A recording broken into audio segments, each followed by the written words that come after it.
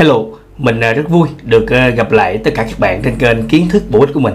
Hôm nay các bạn cùng kiến thức bổ ích à, chia sẻ về bài hát mà bài hát này không xa lạ với các bạn đó đó chính là bài chuyến xe miền Tây sáng tác của à, đài Phương Trang. Nào mời tất cả các bạn cùng theo dõi nhé.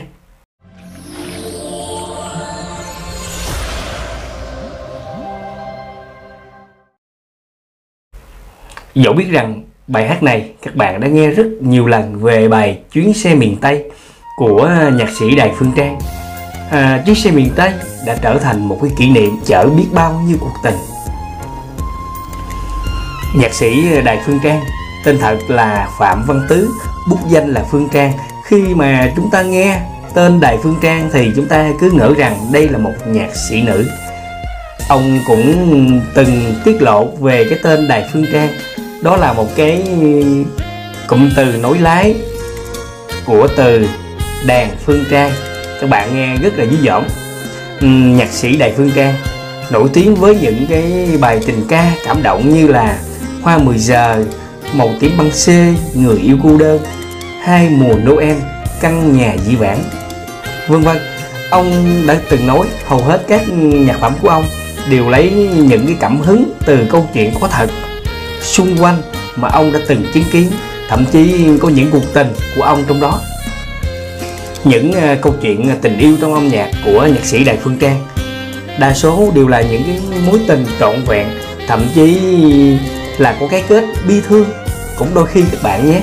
Bởi người ta thường nói tình chỉ đẹp khi còn gian dở và trong một số những sáng tác của ông cũng có ờ, một nhạc phẩm rất đặc biệt nói về à, chuyện tình à, ở miền Tây sông nước, dù không được trọn vẹn, nhưng mối tình ấy để lại trong lòng người nghe cũng đầy cảm xúc. Đó là cái câu chuyện chuyến xe miền Tây. Tôi à, đã quen một người con gái, mái tóc buông bờ vai, ánh mắt say hồn ai, lòng tôi vẫn chưa mờ phai dẫu biết rằng đường quê miền Tây rất là xa qua bao nhiêu phà bắc như các bạn biết là lúc ấy ờ, thời điểm ờ, lúc đó, đó toàn là cầu bắc phà vân vân.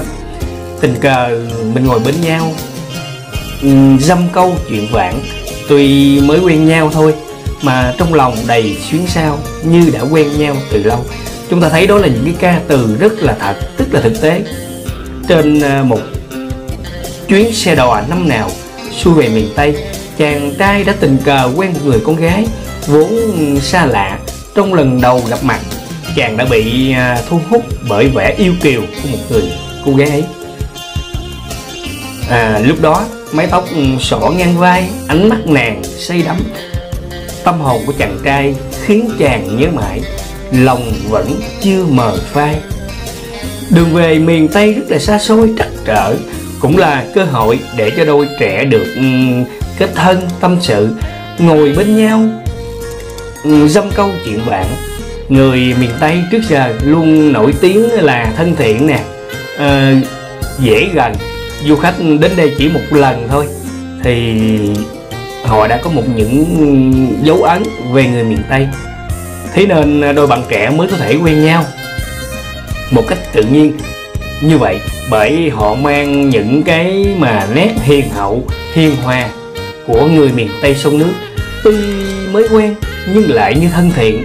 Từ lâu, trong lòng của người chàng trai cũng đã có một chút gì sao xuyến với cô gái. Xe lướt nhanh trên đường, xa bờ ruộng nương, cây xanh rợp muôn hướng. Ai đã qua miền tây, đâu chỉ một lần thôi mà lòng luyến lưu đầy vơi. Khung cảnh à, miền tây sông nước mộc mạc, cảnh quan thiên nhiên thanh bình với những à, cánh đồng lúa mênh mông hệ thống kênh rạch dày đặc các sông triệu nặng phù sa những vườn cây trái kiểu quả cây xanh rợp muôn hướng từ lâu nơi đây đã trở thành một điểm đến gây thương nhớ biết bao người biết bao du khách. Với à, nhiều khách thập phương đến đây không chỉ để nhớ để mang trong lòng để rồi làm giàu trong tâm tư trong suy nghĩ. Ai đến nơi miền tây mà không lưu luyến đầy vơi? Mình à, chuyện trò bên nhau, nghe thời gian vội lướt. Đường dài thật đấy nhưng không có xa. Ôi, sao lạ quá. Tôi hỏi quê em em cười đáp lời. Lòng tôi siết bao khi biết quê em cần thơ. Các bạn biết không? Thì à, xe chạy đến một đoạn nào đó hay bắt buộc phải có những cái điểm dừng của nó. Rồi hai người chia tay khi xe về bến. Chàng trai luôn nhớ mãi nụ cười, cùng lời em khẽ mời. Mùa hè mời anh ghé lại, vườn nhà em cây trái, nếp ven bên sông hậu giang.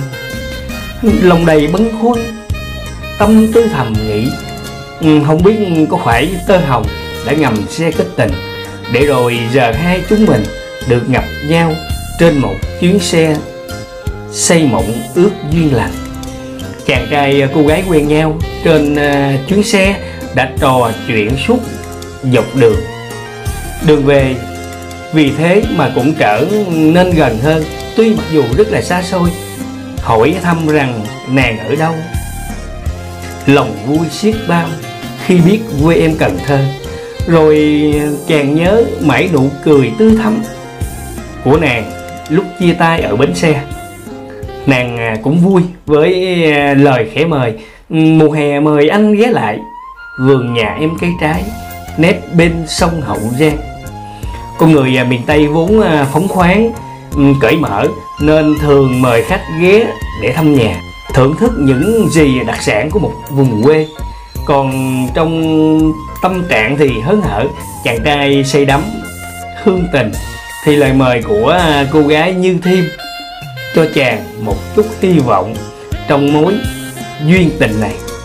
Phải chăng tơ hồng đã xe duyên, đã kết tình, cho cả hai đi gặp nhau trên một chuyến xe mộng ước, chở cuộc tình để lại những tâm tư cho lòng sao xuyến. Nhưng ai đâu ngờ bao điều mộng mơ chưa sang, hè đã tan vỡ.